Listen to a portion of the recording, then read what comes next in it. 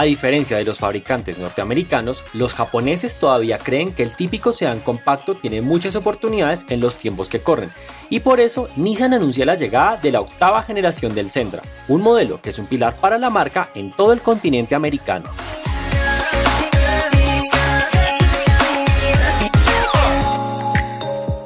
Como es de esperar, el nuevo modelo deja atrás esa apariencia insulsa y ahora recibe claves de diseño del Altima y del nuevo Versa, como la gran parrilla V-Motion, los delgados faros LED y el techo flotante, junto con una opción de un look más deportivo, ya que puede montar spoilers, rines de hasta 18 pulgadas y acabados en negro brillante.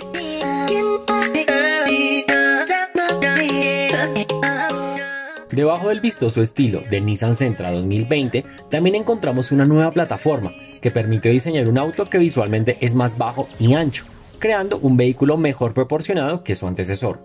Asimismo, la firma hace énfasis en el aislamiento de los ruidos del exterior, con el fin de brindar un paseo más silencioso.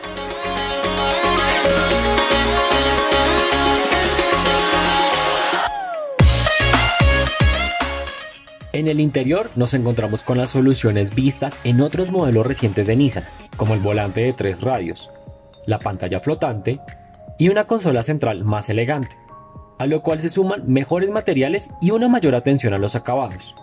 Según la versión, se podrá tener un computador a bordo de 4,2 pulgadas y una pantalla táctil que puede ser de 7 u 8 pulgadas.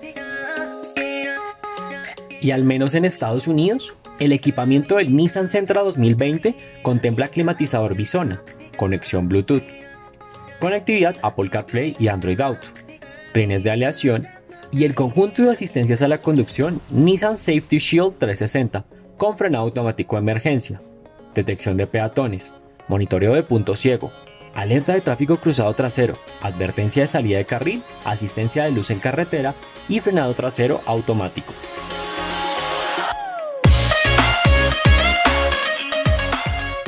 Tono con su nuevo aspecto, el Nissan Sentra 2020 adopta un nuevo motor aspirado de 4 cilindros en línea y 2 litros, que entrega 149 caballos de potencia y 197 Nm de torque, acoplado a una caja automática CVT Stronic.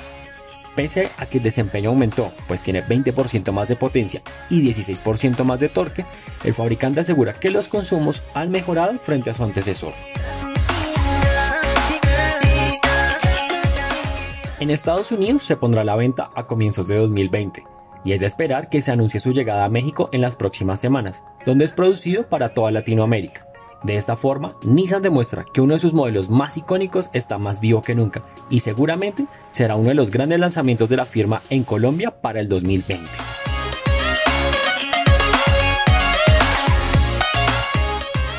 ¿Qué les pareció el nuevo Centra?